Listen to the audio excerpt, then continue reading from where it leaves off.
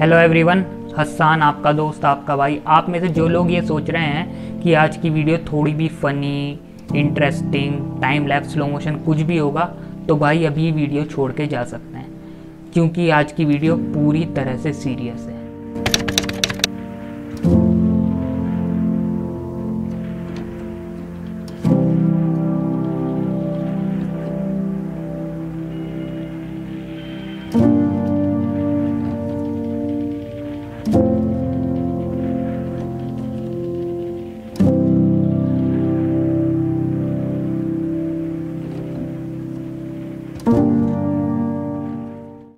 Stop stop.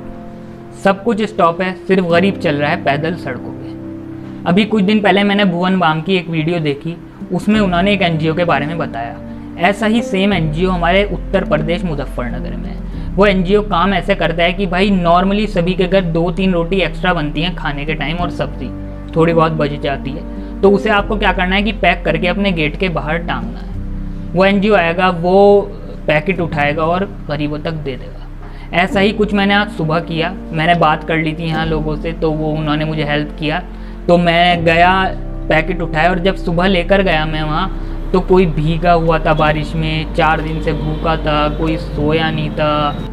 चार दिन से बच्चे थे। मैं देकर आया, बड़ी कंडीशन ख़राब थी। एक लेडी को मैंने दिया वहाँ पे तो कुछ ऐसा हुआ कि वो अंदर से उनकी खुददारी वो शायद मैं भी उनकी जगह होता तो वैसा ही रिएक्ट करता, मैं उनकी सिचुएशन बिल्कुल समझ सकता हूँ। तो उन्होंने मना कर दिया, लेकिन उनके साथ जो छोटा बच्चा था, पता नहीं कब से भूखा होगा, उसने ऐसे हाथ बढ़ा के मुझसे खाना ले लिया।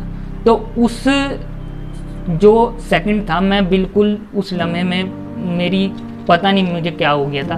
मैं वहाँ से पीछे हट गया, मैंने कहा मुझसे नहीं हो पाएगा। मैं बड़ा इमोशनल हूँ इस मामले में, मेरे से नहीं देखा गया कसम से। मैं घर आया मम्मी को बताया, मम्मी भी रोने लगी। लेकिन फिर बस यही वीडियो बनाने का मकसद है। अब लोग सोचेंगे कि शो ऑफ़ कर रहा हूँ, लेकिन भाई, मैंने सिर्फ़ इसलिए बनाई है कि शायद इसे कहीं ना कहीं देख के एक बंदा भी इंस्पायर होता है तो शायद मैं सफल हो जाऊँगा। और किसी भी बंदे को अगर देना है मतलब खिलाना है पैकेट इस तरह से तो मेरे फेसबुक इंस्टाग्राम पे मैसेज करना, घर से आगे खुद लेकर जाऊँगा भाई। तुम्हें कोई टेंशन लेने की ज़रूरत नहीं है। मैं तुम्हारे घर से उठाऊँगा, वहाँ तक पहुँचा दूँगा। बिल्कुल टेंशन लेने की ज़रूरत नहीं है।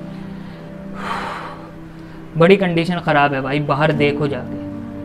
खिलाने वाले हम कोई नहीं होते, हम तो सिर्फ़ ज़रिया हैं भाई। ज़रिया ही बन के खुश हैं हम तो। और लास्ट में बस यही कहना चाहूँगा कि गरीब की थाली में पुलाव तभी आता है जब चुनाव आता है। गुड बाय अगर कोई पैकेट देने के लिए इंटरेस्टेड है तो मुझे फेसबुक इंस्टाग्राम पर मैसेज कर सकता है। और जब आपका मन हो, तब आप दे सकते हैं। हफ़्ते में एक बार या दो बार, जब आपको अच्छा लगे, तब आप इन्फॉर्म कर देना, घर से आकर आपके पैकेट्स ले जाएँगे। थैंक